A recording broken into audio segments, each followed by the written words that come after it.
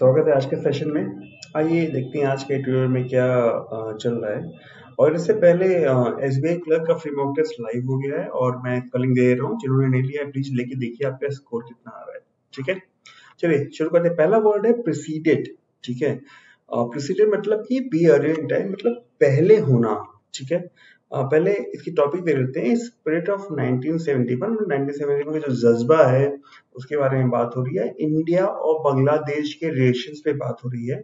और इंडिया और बांग्लादेश को फोकस करना चाहिए फ्यूचर कोऑपरेशन पे, ठीक है? जो पहले की पार्टनरशिप है, उसके बेसिस पे, ठीक है? तो फ्यूचर कोऑपरेशन जो हो, वो पहले की पार्टनरशिप पे हो, ऐसा। तो ये कह रहे हैं कि जो वाटर शेयरिंग एग्रीमेंट जो है कुशियारा का, वो प्रिसीडेड मतलब कि उसके पहले कौन सा आया था? वो था first joint river commission meeting ये जो मीटिंग हुई है बारह साल में, वो उससे पहले हुई थी, ठीक है? और ये पार्टिकुलरली होपफुल साइन है ऑन रिजॉल्विंग वाटर जजमेंट ठीक है? एंड अ वेरी कॉन्टेंशियस कॉन्टेंशियस मतलब कोई भी ऐसी चीज़ जिसमें कॉन्टेंशन हो, जिसमें यू नो डिस्प्यूट हो या डिसएग्रीमेंट हो, ठीक है? इसे कॉन्टेंशियस कहते हैं। तो ये जो पानी शेयर करने का इश्यू है, बहुत ही कॉन्टेंशियस इश्यू है। बहुत ही ऐसा इश्यू है जिसमें लोग असहमत होते हैं और झगड़ा होता है एंड लाइकवाइज ठीक है? ये नेक्स्ट वर्ड इज़ ऑनबोर्ड जो जब ऑनबोर्ड की बात आती है ऑनबोर्ड का मतलब होता है कि एक स्पेशल पर्पज के लिए किसी ग्रुप या टीम का पार्ट बनाना। ठीक है? तो ये कह रहे हैं कि while there has been a smaller agreement on the withdrawal of 1.82 cusecs from the Feni एक छोटा सा एग्रीमेंट हुआ है कम छोटा एग्रीमेंट हुआ है 1.82 क्यूसेक के विड्रॉल के लिए फेनी की तरफ़ से इंटरम पीरियड में जो अभी अंतरिम समय चल रहा है उसमें ये हुआ है। और कुछ सारा जो एग्रीमेंट है वो आ, पहली बार ऐसा है कि जो सेंटर ने ब्रिंग ऑन बोर्ड किया है मतलब कि आसाम को भी स्पेशल पर्पज के लिए शामिल किया है, ठीक है? और दूसरे north east state north east states हैं, उनको शामिल किया है, ठीक है? तो यहाँ ब्रिंग ऑन बोर्ड का मतलब हो रहा है शामिल करना, याद रहेगा, ठीक है? फॉर द एग्रीमेंट इस एग्रीमेंट के लिए उन्नीस सौ छियानवे की जो गंगा बॉर्डर ट्रीटी हुई है, उस उस समय से, ठीक है? समझ में आ गया? Next word we have got is elusive elusive का मतलब होता है कि something you know which is difficult to solve something which is difficult to comprehend कुछ समझ में आना मुश्किल हो सॉल्व करना मुश्किल हो या थोड़ी दूरी पे रहे यू नो इल्यूड इल्यूड से बना है इल्यूसिव इल्यूड मतलब आ, होता है भाग जाना तो ऐसा कुछ। तो ये कह रहे हैं कि जो भी हो ये जो तीसरा एग्रीमेंट है इधर ग्यारह का जो वेस्ट बंगाल ने जिसको हेल्डअप किया है ठीक है होल्ड अप किया है वो रिमेन्स इल्यूसिव वो इल्यूसिव ही बना हुआ है। मतलब ऐसी चीज़ है जो डिफ़िकल्ट टू सॉल्व है और उसको मिल वेस्ट बंगाल को मिल नहीं पा रहा। वेस्ट बंगाल से दूर है उसका सोल्यूशन ऐसा कुछ। एक ऐसा पॉइंट जो मिस हसीना ने बहुत बार किया है पुट फॉरवर्ड किया है। ठीक है? Next word is timeline timeline का मतलब होता है सीक्वेंस ऑफ़ रेटेड इवेंट एक आ, क्या बोलेंगे? समय क्रम कह सकते हैं। ठीक है? एक क्रम समय का क्रम, ठीक है? तो जो टाइमलाइन है इसकी, वो मिस हसीना के लिए इंपॉर्टेंट हो जाती है, क्योंकि उनके इलेक्शंस ड्यू हैं अगले साल तक, ठीक है? तीन साल का, तीन साल, तीन टर्म के बाद, ठीक है? तो ये टाइमलाइन इसलिए महत्वपूर्ण हो जाती है और इसलिए ये रिजॉल्व करना महत्वपूर्ण है। Next word is footing footing मतलब होता है कोई एक ऐसा हिस्सा जहाँ पे चढ़ाई करते समय जहाँ पैर रख के सिक्योर हो जाए आप। लेकिन यहाँ पे ऑब्वियसली ये मतलब नहीं है। यहाँ पे टाइज की बात हो रही है, ठीक है? इंडिया और बांग्लादेश के टाइज की, कि वो एक फर्मर फुटिंग पे है। फर्मर फुटिंग का मतलब कि एक ऐसी जगह पर है जहाँ पे थोड़ा ज़्यादा स्टेबल है। देखिए, लिखा भी हुआ है relation that provides a foundation for something ठीक है? तो थोड़ी सॉलिड फाउंडेशन है। ठीक है, जो टाइज है वो। और फिर next word is advent advent का मतलब होता है कि कोई जब आता है, उसे एडवेंट कहते हैं, ठीक है? तो ऐसा कह सकते हैं कि the advent of mobile technologies in 2000 तो मोबाइल टेक्नोलॉजी जो 2000 में आई थी, उसके बारे में बात हो रही है। ये एडवेंट का मतलब है। यहाँ पे कहा जा रहा है कि जो पॉजिटिव ट्रेंड है टाइज के वापस जाने में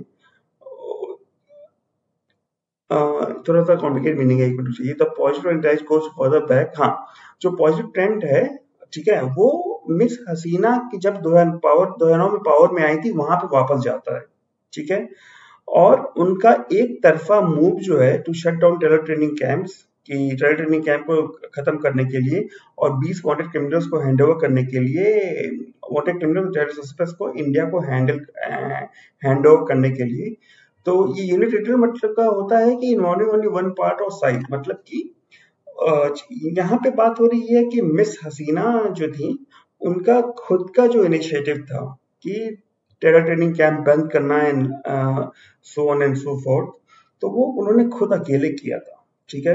हो सकता है यहाँ पे उनके ओपोजिशन का साथ ना मिला हो उनको, ठीक है? जो उनकी सरकार की ओपोजिशन में थी।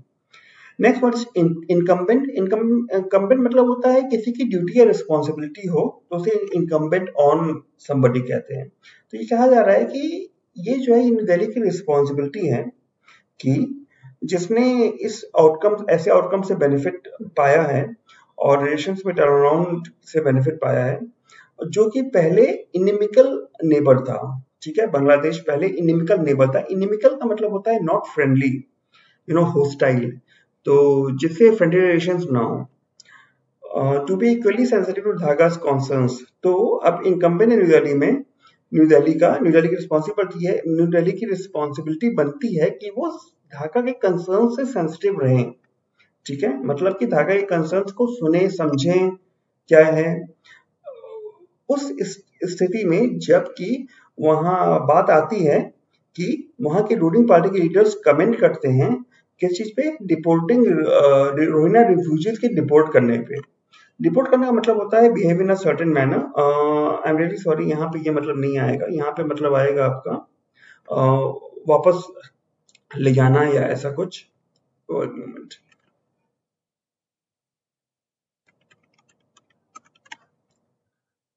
hand over to the authority of another country ये मतलब आएगा। ठीक है? या कंदेश से निकाल देना। ठीक है? तो कहा थे हम लोग? हम्म। तो न्यू दिल्ली की रिस्पॉन्सिबिलिटी बनती है कि सेंसिटिव रहे ढाका के कंसर्न्स पे उस स्थिति में स्पेशली जब वहाँ के रूलिंग पार्टी जो है वो देश से निकालने के रोहिंग्या रिफ्यूजी को देश देश से निकालने के बारे में कमेंट पास कर रहे हैं और जो अनडॉक्यूमेंटेड माइग्रेंट्स हैं, उनको टर्माइस की तरह कंपेयर कर रहे हैं, ठीक है? तो ये रूलिंग पार्टी के लीडर्स इंडिया के हैं, ठीक है?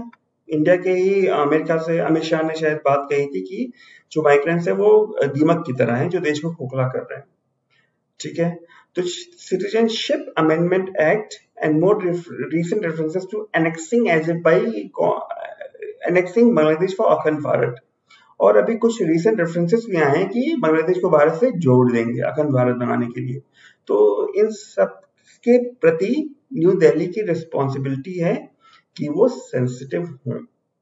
लंबा सेंटेंस है, काफ़ी लंबा सेंटेंस आई होप समझ में आया होगा। अगर समझ में आया हुआ है तो प्लीज़ कमेंट करिए। I try again to explain it you ठीक है? और last word is rhetoric rhetoric का मतलब होता है जब भी कोई पॉलिटिशियन भाषण देता है ना, और लुभावने वादे करता है, और क्या कहते हैं, बहुत ज़्यादा सजा सजा के बातें करता है तो उसे रिटोरिक कहते हैं। ठीक है? याद रहेगा? तो ये कह रहे हैं कि जो क्रॉस बॉर्डर सेंसिटिविटीज है जो क्रॉस संवेदनशीलता है इस बॉर्डर बॉर्डर्स की, ठीक है, वो साउथ एशिया में काफ़ी बार रन हाई करती है, ठीक है? ऐसे पॉलिटिकल रिटोरिक पे, ऐसी जो पॉलिटिकल बातें होती हैं उस पर रन हाई करती है। रन हाई का क्या मतलब है यहाँ पे? आइए देखते हैं। रन हाई का मतलब इसमें नहीं दिया है, ठीक है? तो एक मिनट रुकिए, मैं देख ही रहता हूँ रन हाई का क्या मतलब होता है।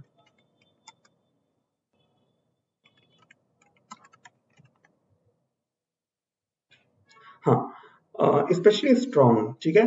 तो जब एक ग्रुप का ग्रुप ऑफ़ पीपल होते हैं वो uh, उनकी भावनाएँ बहुत स्ट्रांग होती हैं उसे रन हाई कहते हैं ठीक है? तो यहाँ पे ये बात ये सारे जो छोटे छोटे ईडियम ऑफ़ फ्रेजेस होते हैं ना ये बहुत इंपॉर्टेंट हो जाते हैं when it comes to reading comprehension suppose if you are given this passage for reading comprehension and you ask only of the about the meaning of run high what would you write आपको ये दिमाग में आएगा कि ये emotion से connect ये तो लग रहा है कि यू नो ऊँचा दौड़ रहे हैं, ऐसा कुछ। लेकिन तो ये, यहीं पे इन सब की मीनिंग समझना और याद रखना ज़रूरी हो जाता है। ठीक है? तो यहाँ पे ये कहने का मतलब है कि क्रॉस बॉर्डर की जो संवेदनशीलता है, वो ऑफन लोगों पे, लोगों के इमोशन से खेलती है एज ए पॉलिटिकल रिटोरिक करके। ठीक है? और ये ज़रूरी बन जाता है कि दिल्ली और धागा जो है, वो अपने फ्यूचर कोऑपरेशन पे फोकस्ड रहें। ठीक है? और जो कि उनके पास पार्टनरशिप में बनी थी और जिसे स्प्रिट ऑफ़ 1971 के नाम से जाना जाता है रेफर किया जाता है। ठीक है? कैसा रहा आज का एनालिसिस मुझे बताइएगा। कुछ समझ नहीं आएगा तो मुझे कमेंट सेक्शन में मेंशन करिएगा। वीडियो दोबारा देखिए कौन सा समझ में आ जाए, फिर भी नहीं आता है तो प्लीज़ कमेंट सेक्शन में मेंशन करिएगा। जैसा मैंने पहले कहा था एस बी का फ्री मॉक टेस्ट लीजिए। लिंक दिया हुआ है। देखिए कितना आपका स्कोर आता है। वो भी कमेंट सेक्शन में मेंशन करिएगा अपना score let's strive hard to improve your score in specially English section ठीक है? चलिए, मिलते हैं नेक्स्ट सेशन में। तब तक के लिए बाय बाय और तब तक के लिए देखते रहिए और अगर अभी तक आपने सब्सक्राइब नहीं किया तो यहाँ क्लिक करके सब्सक्राइब कर सकते हैं। चलिए thank you for watching bye bye